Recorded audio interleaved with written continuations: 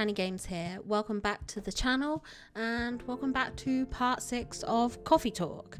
Um, it's been a couple of weeks for me. I had a bit of a cold, so um, I should remember how to do everything. But if there's a couple of little pauses, that's probably why. Anyway, I'll get straight into the story and let's see where we go from here.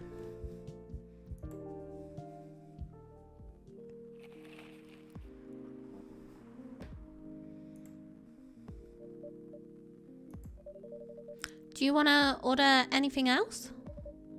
Uh, I'm good for now. I'll order again once I finish reading this. Okay then. I'll leave you with whatever that is. hmm.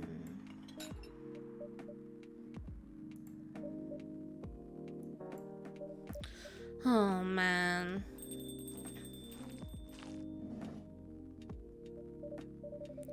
Oh, Aqua, fancy seeing you again so soon. Hi, Freya. Hi, Tani. Good evening, Miss Aqua. How are you two doing? Same old. I'm good, how about you? I'm fine, thank you. And you? Oops, I asked that already. I'm sorry. Don't worry about it. Is Myrtle here? So far, it's only me and Tani. We have with us now. We have you with us now, of course. Are you meeting her here tonight? Oh, it's it's not that. I was just wondering whether she's coming here again tonight. You have her email, right? Yeah. Why don't you just tell her to come and meet you here now? That always works for me whenever I want to talk to someone. That wouldn't be nice. It's not that important anyway.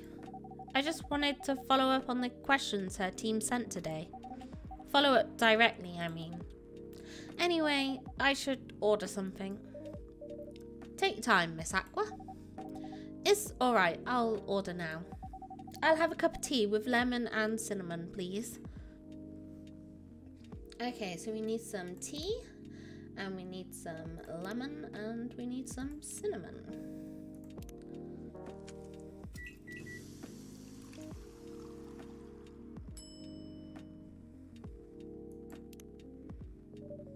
Here you go.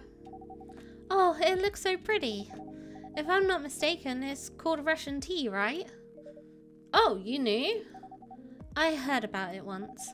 I'm pretty sure the only part that's Russian is the name. It was originally from a community cookbook or something. You're right. Whoa, that's a highly specific fun fact to know. I guess I spend too much time browsing the internet. When did you arrive, Freya? I've been here since you left last night. Blop, blop, blop. Finish drinking first, Aqua. I I'm sorry. I said you haven't left? I was just joking. Oh, that would be crazy. Why? Oh no, I didn't mean to offend you or anything. It's just that you shouldn't forget to take breaks. You too, Tani. Please make sure you get enough rest. Of course I will, Miss Aqua. Thank you for the reminder. By the way, Aqua. Yes? Where do you come from? Because judging from your accent, you're not from the States, right? I'm not. I'm from the ocean. Whoa, so you're a full-fledged oceanic? Born and raised in the sea. Why did you move here? Chasing the American dream, I guess. You move with your family? No, I'm the only one who could move here. Oh, may I know why? Uh, it's not easy for our people, especially the females, to get higher education. I got scholarships and the opportunity. I wasn't sure about moving, you know, but my parents pushed me to do it. How long have you been here? Almost two years now. Do your parents visit often? They can't. Do you know how hard it is for my people to get a US visa? I'm sorry to hear that. It's okay. We're, we're still in contact. We do a video call at least once a week. Do you have any siblings? Of course. We are sea people. My extended family is probably as big as Seattle's population. Whoa. That's a lot. You really have that many relatives? of course not. I was just exaggerating. But if you count my grandpa's kids and grandkids, there are hundreds of us. Holy. How about you, Freya? Do you have any siblings? I have. Not as many as you, I assume. I have a little brother. Four years younger. He also lives in Seattle? No, he's living in San Francisco. Near our parents' house. He's the good kid and I'm the rebel. Working some high-end tech job while taking care of my dad on the weekends. That's so nice of him. I know, right? That reminds me. I should visit my parents after finishing this draft. You should. Visit them while you can. I know. Anyway, I want to order something. Another espresso. You know, the usual.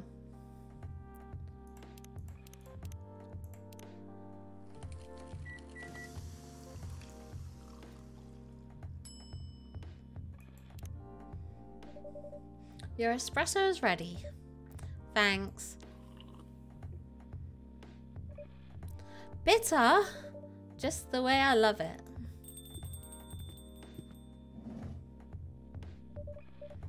Good evening, sir. Good evening. How can I help you, sir? Ah, yes. Hmm. I don't know what to order. Something to raise your spirits, perhaps? Hmm. Hmm. Hmm. N nothing you like on the menu? I can make you a custom drink if you like. Actually, are you familiar with STMG? J? STMJ? I'm sorry, I've never heard of it. If you can tell me the ingredients, I'm sure I can recreate it. Ah, lucky me. STMJ stands for Susu Telur Madu Jahe. It's Indonesian. It means milk, egg, honey, and ginger. Uh, understood. Wait, do you have eggs? I certainly have. They're not on the shelf, but I'll add an egg once I've mixed the rest of the ingredients. I'd love that. One cup of STMJ, please. Oh god, how have I already forgotten what he just asked me for?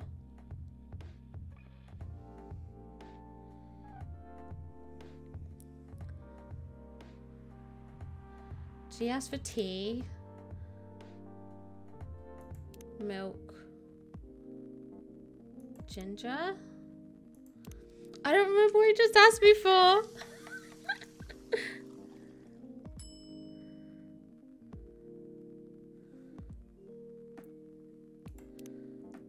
I don't know. Here's your order, sir. Let's see. Hmm. I'm not sure why you gave me this, but it's definitely not an STMJ. I failed. Oh no. Don't worry about it though. This isn't the worst drink I've had after ordering an STMJ in the States. I'm sorry for the mistake. I really am sorry for the mistake. Excuse me, may I ask you girls something? Sure, ask away. What kind of things do you kids like doing nowadays? Uh, excuse me? Aren't you college students? Uh, no, we're not. I see.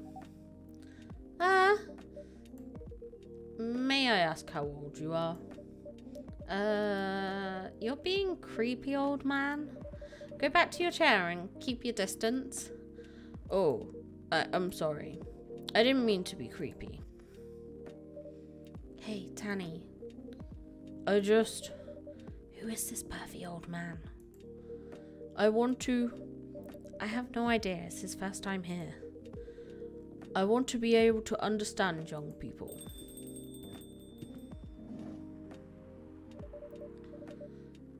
Thank God you're here, Officer Jorji. What's up? There's a creepy old man trying to flirt with us. Where? You mean him? Yes, but not so loud. This man here is Rachel's dad, Freya. He asked to meet me, so I told him to come here. Oh, I didn't know that Rachel's dad was a pervy old man. No wonder she ran away from home. Everyone, please meet Mr. Furlong, Rachel's dad. Mr. Furlong, please meet Freya and Tanny. Please call me Hendry. I apologize for earlier. I wasn't trying anything funny. I'm sorry about that. Wait a minute. Your name is Hendry Furlong? Yes. And you're Rachel Florencia's father? Yes. Furlong. Florencia? Why do you have different last names? What are you trying to pull? Florencia was my late wife's maiden name. Oh, I'm sorry. Rachel chose it for her stage name. Freya. Okay, I think I better work on my novel. I'm sure you guys have a lot to talk about. Yeah, Freya, I'll come with you. Anyway, what was it that you wanted to talk to me about? It's about Rachel. That night when you drove her home, was she hanging out with shady people? Well, I think one of them was a bit shady. Hey, I heard that. What? I'm not a criminal. I'm just kidding. She was in this coffee shop talking with Freya and Tanny here. She wasn't in any danger. Are you sure? What about before that? Whoa, calm down. Is everything alright? It's just that I feel she's getting more and more distant. I don't know how to talk to her anymore. Or even what to talk about. I don't know what kids her age are into nowadays. Every time we talk, we ended up fighting. I have three daughters. We fight all the time. One thing that I learned give them time and space, but be there when they need you. Or you can just bribe them. One time I had a fight with my eldest daughter. She didn't want to talk to me for a week. I know she loves pizza, so I went to Rocco's and brought her her favorite pie. I left the pizza on the table like a trap. Then I just waited for her to take the bait, just like a stakeout. When she took the bite of that delicious pepperoni, I casually grabbed a slice and sat with her. That pizza really helped smooth things over. After that, she wouldn't stop talking. What if what it what she loves is doing the problem? Rachel loves singing and performing on stage. I'm proud of what she has achieved with her career. She's really young, but the entertainment industry isn't a kind place. Not the label, not the media, not the fans. And I don't trust her new manager. Rachel's just a little girl.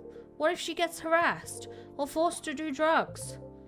Did something happen? Well, nothing's happened yet. I just feel it in my guts. Is it possible that you're just being paranoid? I don't know, maybe. Psst, Danny, I need to go now. Thanks for the drink. Take care on your way.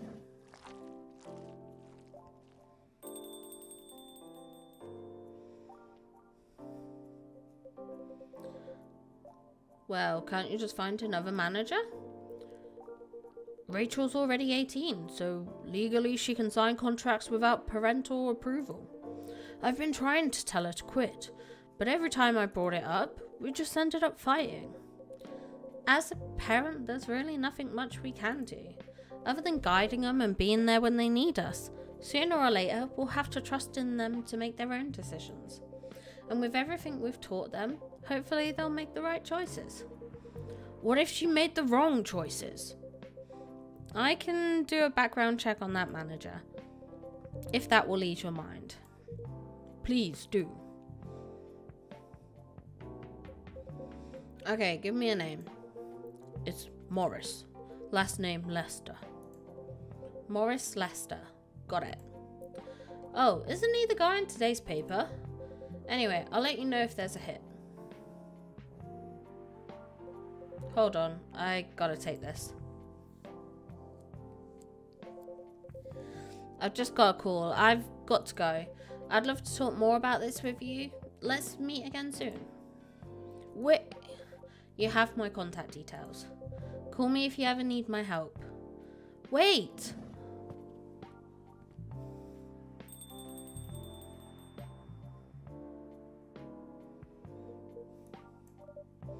Don't worry, I'm sure everything will be alright.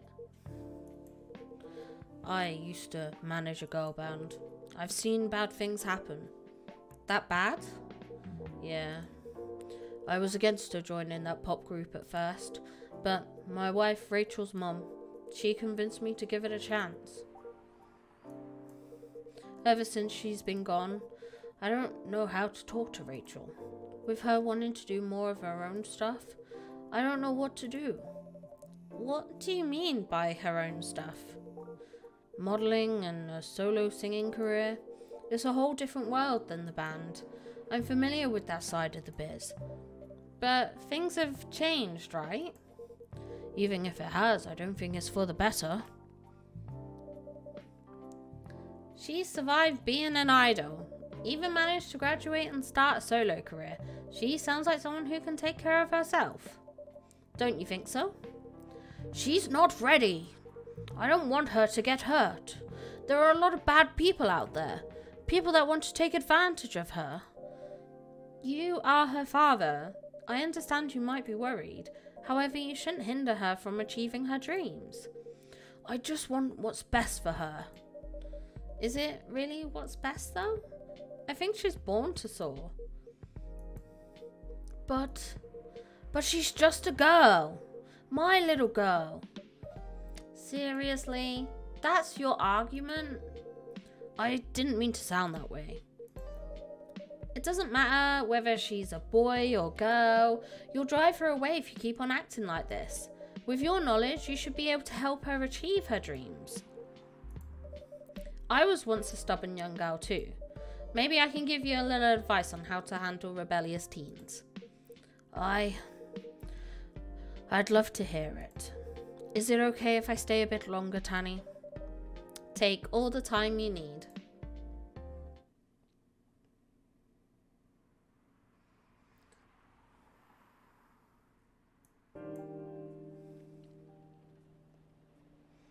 And there we go. So that's the end of that part of Coffee Talk. That felt like a relatively short and sweet one.